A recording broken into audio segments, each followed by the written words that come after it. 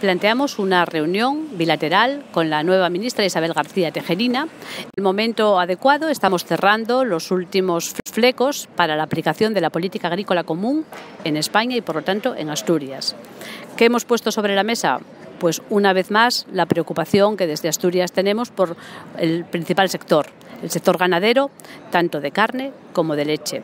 Especialmente mm, preocupación por el sector lácteo, que eh, es un sector estratégico y especialmente sensible y que va a depender de forma muy importante de cómo se acople finalmente el sector, es decir, qué pagos se van a destinar a sus producciones. Desde el Ministerio hemos encontrado el compromiso de mantener un nivel de pagos acoplados por encima del actual, hasta un 50%, y que se va a especificar, se va a concretar de forma especial en aquellas en aquellos territorios que por ser zonas de montaña tienen especial dificultad de producción. Esta es una reivindicación, una exigencia que hemos mantenido desde el primer momento en Asturias y hemos encontrado que el Ministerio comparte nuestra posición y en ese sentido el balance de la reunión es un balance satisfactorio y tranquilizador.